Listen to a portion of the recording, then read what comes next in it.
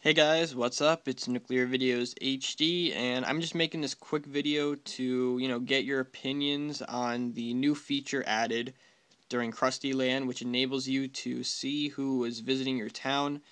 Um, in my opinion, this is actually, you know, a really cool feature.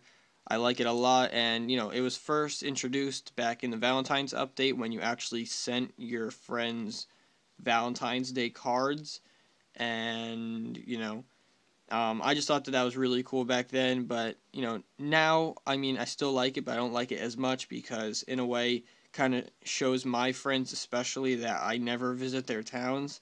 Um, I would, but I mean I have absolutely like no time. Like I honestly don't even play Tapped Out on my free time unless I'm recording. But um, you know, nevertheless, I do think it's a pretty cool feature. You know, you can see who's been going to your town, and I like that.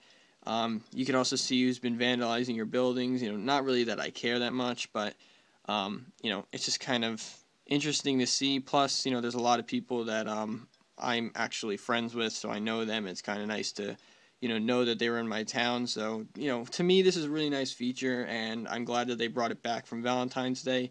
Not sure how long it's going to stay. It might just be here for the Krusty Land update, considering that, you know, having friends is going to be a big part of the you know entire update itself. So not really too sure where um you know where this is going to stay until, but um you know in my opinion it's a really cool update. So I just want to see what you guys think about it. But you know it has its pros and cons. But um yeah, so all I really want to do is just you know see your opinions on it, and you guys can leave those in the description.